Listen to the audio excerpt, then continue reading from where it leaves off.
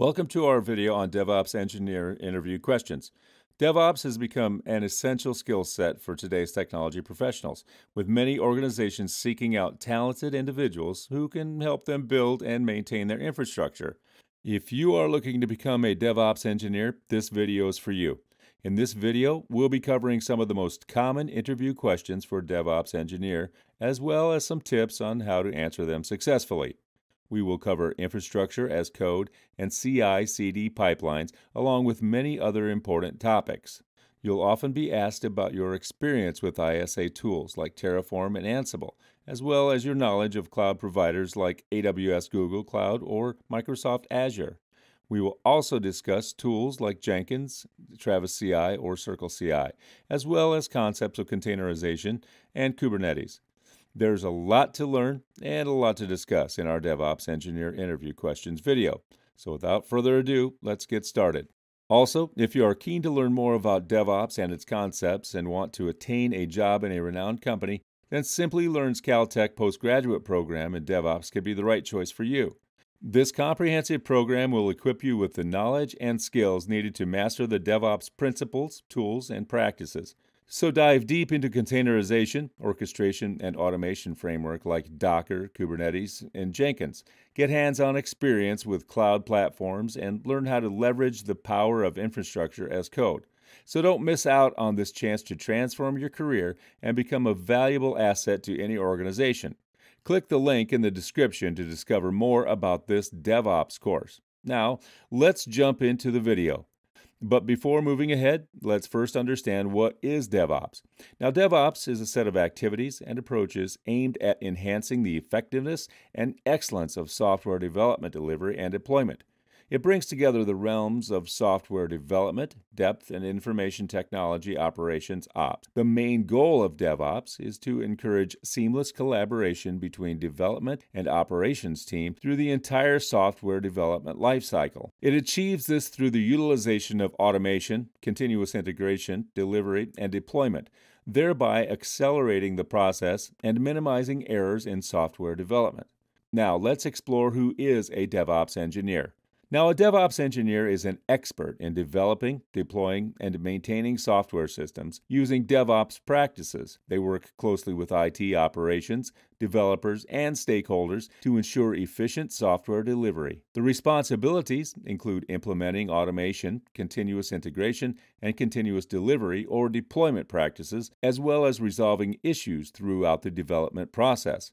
DevOps engineers are proficient in various tools and technologies, such as source code management systems, build and deployment tools, virtualization, and container technologies. But how exactly to become a DevOps engineer? Now, depending on the business and the individual function, different criteria for becoming a DevOps engineer may exist. However, some specific fundamental skills and certifications are frequently needed or recommended. First is an excellent technical background. Now, DevOps engineers should be well versed in IT operations, system administration, and software development. Second is experience with DevOps tools and methodologies. Now, DevOps engineers should have experience with various DevOps technologies and processes, including version control systems, build and deployment automation, containerization, cloud computing, and monitoring, and logging tools. Third is scripting and automation skills. Now, DevOps engineers should have strong scripting skills and be proficient in using tools such as Bash, Python, or PowerShell to automate tasks and processes for this cloud computing experience. Now, DevOps engineers should have experience working with cloud platforms such as Amazon Web Services, Microsoft Azure, or Google Cloud Platform, and in the end, certification some organizations may require DevOps engineers to hold relevant certifications such as Certified DevOps Engineer, CDE, or Certified Kubernetes Administrator, CKA, or AWS Certified DevOps Engineer Professional. Well, now, let us begin with some really important DevOps interview questions and answers, as we have already covered the roadmap of how to become a DevOps engineer. So, the first question that we are coming up with is How is DevOps different from Agile methodology? Well, DevOps is a culture that allows the development and operation team to work together. This results in continuous development, testing, integration, deployment, and monitoring of software throughout the life cycle. Whereas Agile is a software development methodology that focuses on iterative, incremental, small, and rapid release of software, along with customer feedback. Basically, IT addresses gaps and conflicts between the customer and developers. DevOps addresses gaps and conflicts between the developers and IT operations. Now, the second question is which are some of the most popular DevOps tools? Well, some of the most popular DevOps tools include Selenium, Puppet, Chef, Git, Jenkins, Ansible, and Docker, which are considered really important in today's world if you want to become a successful DevOps engineer. The third question is What is the difference between continuous delivery and continuous deployment? Now, we will address this one by one. So, continuous delivery ensures that you can safely deploy onto production. But continuous deployment ensures that every change that passes through automation testing is deployed to production automatically instead of manually. Continuous delivery ensures business applications are delivered as they were expected. Now, continuous deployment makes sure that software development and other processes like release are smooth and faster. Continuously, we also make changes to a production life environment through rigorous automated testing. But when it comes to continuous deployment, there is no explicit approval for a developer to require a developed culture. Question four is What is the role of configuration management in DevOps? Now, configuration management enables management of and changes to multiple systems. Also, it standardizes resource configuration, which in turn manages its infrastructure. Also, it helps with the administration and management of multiple servers and maintains the integrity of the entire infrastructure. Next is what is the role of AWS in DevOps? Well, AWS has the following role in DevOps. First is flexible services. This provides ready to use flexible services without the need to install or set up the software. Second is build for scale. You can manage a single instance or scale to thousands using AWS services. Third is automation. AWS lets you automate tasks and processes, giving you more time to innovate. Then comes secure. Using AWS Identity and Access Management, you can set user permissions and policies in your organization. And then comes large partner ecosystem. AWS supports a large ecosystem of partners that integrate with an extended AWS services. Now, if we talk about the sixth question, that is, name three important DevOps KPIs. Now, the three very important KPIs are as follows mean time to failure recovery. This is the average time taken to recover from a failure. Deployment frequency, the frequency in which the deployment occurs percentage of failed deployments, the number of times the deployment fails. Now, the seventh question is What are the benefits of using version control? Here are some of the benefits of using version control. Well, all team members are free to work on any file at any time. With the version control system later on, VCS will allow the team to integrate all of the modifications into a single version. The VCS asks to provide a summary of what was changed. Every time we save a new version of the project, we also get to examine exactly what was modified in the content of the file. As a result, we will be able to see who made what changes to the projects. Now, inside the VCS, all the previous variants and versions are properly stored. We will be able to request any version at any moment, and we will be able to retrieve a snapshot of the entire project at our fingertips. A VCS that is distributed, such as Git, lets all the team members retrieve a complete history of the project. This allows developers or other stakeholders to use the local Git repositories of any of the teammates, even if the main server goes down at any point in time. So the next question is what is the blue green deployment pattern?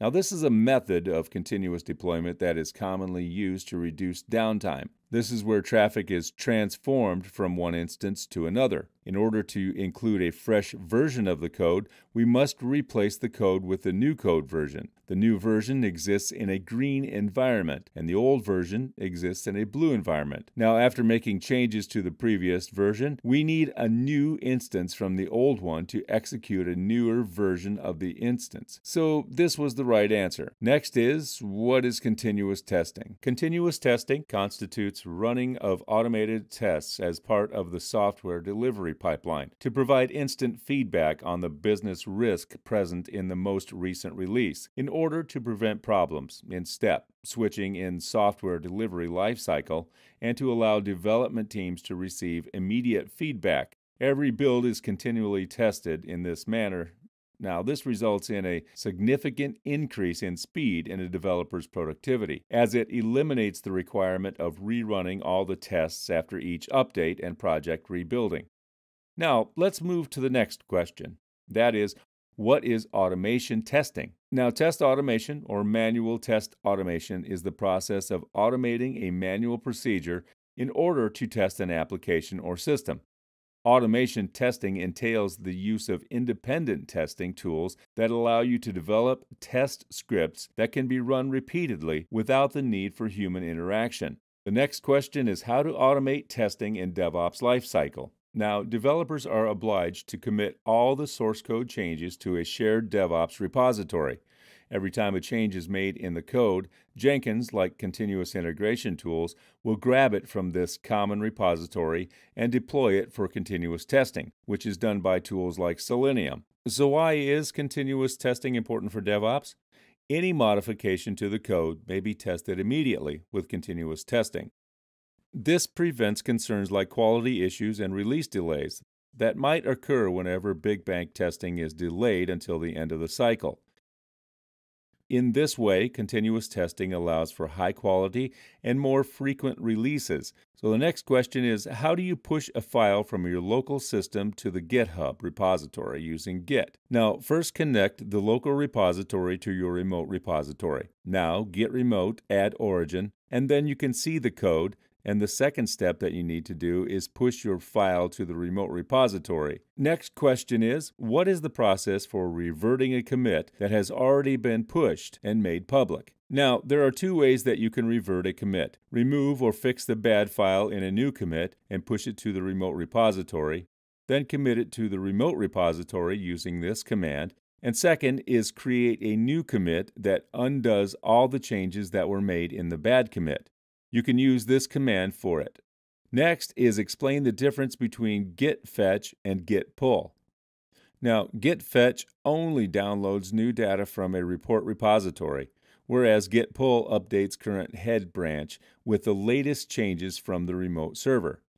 The second difference is git fetch does not integrate any new data into working files, whereas git pull downloads new data and integrates it with the current working files. Git fetch users can run a git fetch at any time to update the remote tracking branches, whereas git pull tries to merge remote changes with your local ones. Now, coming to the next question. Explain the concept of branching in Git. Suppose you are working on an application and you want to add a new feature to the app. You can create a new branch and build a new feature on that branch. By default, you always work on the master branch, and the circles on the branch represent various commits made on the branch. So after you're done with all the changes, you can merge it with the master branch. Next question is explain the master slave architecture of Jenkins. Now, Jenkins master pulls the code from the remote GitHub repository every time there is a code commit. It distributes the workload to all the Jenkins slaves and when requested from the Jenkins master, the slaves carry out build, test, and produce test reports. The next question is which file is used to define dependency in Maven? build.xml, pom.xml, dependency.xml, or version.xml. The correct answer is pom.xml. Next question that we are going to cover is explain the two types of pipelines in Jenkins along with their syntax. Now, Jenkins provides two ways of developing a pipeline code scripted and declarative. Now, scripted pipeline is based on Groovy Script as their domain specific language, One or more node blocks do the core work throughout the entire pipeline. Now, the syntax is execute the pipeline or any of its stages on any available agent, define the build stage, perform steps related to building stage, define the test stage, perform steps related to this test stage, define the deploy stage, and perform steps related to the deploy stage. Now, declarative pipeline provides a simple and friendly syntax to define a pipeline. Here, the pipeline block defines the work done throughout the pipeline. So the syntax that follows is First, execute the pipeline or any of its stage on any available agent, define the build stage, perform steps related to building stage, then define the test stage, perform steps related to the test stage, define the deploy stage, and perform steps related to the deploy stage. Again, this was the code for declarative pipeline. And the last question for this video is explain how you can set up a Jenkins job. To create a Jenkins job, we go to the top page of Jenkins, choose the New Job option, and then select Build a Freestyle Software Project. Now, the elements of this freestyle job are optional triggers for controlling when Jenkins builds, optional steps for gathering data from the build like collecting Javadoc testing results and or archiving artifacts a build script that actually does the work, or the optional source code management system like Subversion or CVS. Well, there you go. These are some of the most common DevOps interview questions that you might come across while attending an interview. As a DevOps engineer, in depth knowledge of processes, tools, and relevant technologies is essential and these DevOps interview questions and answers will help you get some knowledge about some of these aspects. In addition, you must also have a holistic understanding of the products, services, and systems in place. Here's an inspiring success story from one of our satisfied learners who has propelled their career with DevOps. This can help you boost your confidence and make a firm decision in this field. Do watch the video. Well, that's all for this video. If you like this video, please do give it a thumbs up and share it with your friends.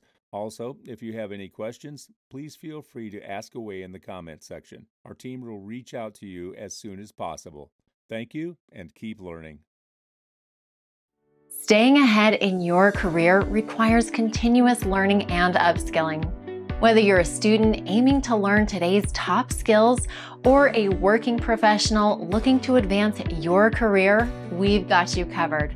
Explore our impressive catalog of certification programs in cutting edge domains, including data science, cloud computing, cybersecurity, AI, machine learning, or digital marketing.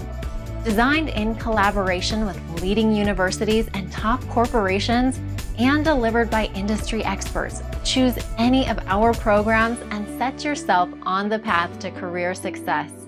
Click the link in the description to know more.